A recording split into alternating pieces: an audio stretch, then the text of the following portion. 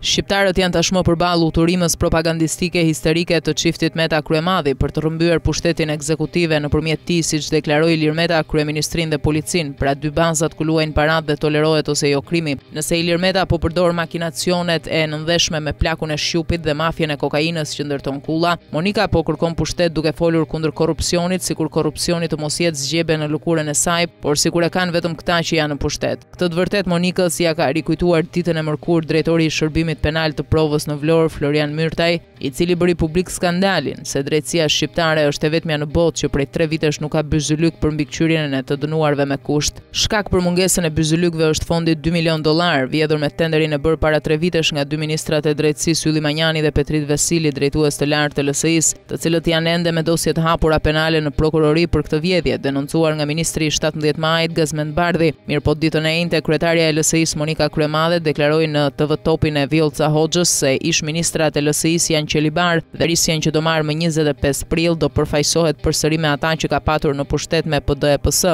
Nuk është guxim moral, por është një bindje e Monikës se shqiptarët vazhdojnë t'i besojnë asaj e bashkëshortit të saj që pushtetin e deleguar tek ministrat e LSI-së e kanë përdorur për të vjedhur, shtuar pallatet, vilat, tokat e llogaritë bankare, pra nëse larg Qoftë do të çmenden shqiptarët e do t'i rijapin pushtet për herë të tretë familjes e bandës së Monikës, ajo e deklaroi se do emërojë përsëri Titin e ilaçeve, Haxhinaston e tunelit të Elbasanit dhe aeroportit të Rinasit, Panaritin e miellit e mishit kancerogjen, Kokën e landfilleve, Manjanin dhe Vasilin e byzylykëve. Këta, megjithëse janë me dosje penale në proces hetimi, Monika i quan ministrat më të ndershëm e nëse pyetet të pastër do quajë edhe njëqind e trembëdhjetë drejtorët qendrorë e rajonalë të arrestuar për korrupsion e trafiqe në favor të saj, ku simboli janë Balili i kokainës dhe Xhika i rrugëve. Edhe pse vjedhja e dy milionë dollarë fonde nga ministrat Manjani e Vasili ka lënë drejtësinë pa byzylykë për të dënuarit me arrest shtëpie, Monika del e flet për ndershmëri të ministrave që i vodhën. E përse Monika të mos bëjë moral kundër korrupsionit dhe të kërkojë pushtet duke stigmatizuar e kërcënuar dhe drejtësinë e re,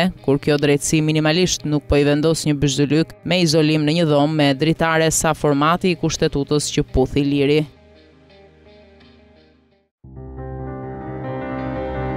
Pamfleti është një platformë mediatike analitike që u lind si domosdoshmëri e një tribune pa kompromis, si një zë i fuqishëm në luftën pa ekuivok ndaj krimit dhe korrupsionit politik në Shqipëri.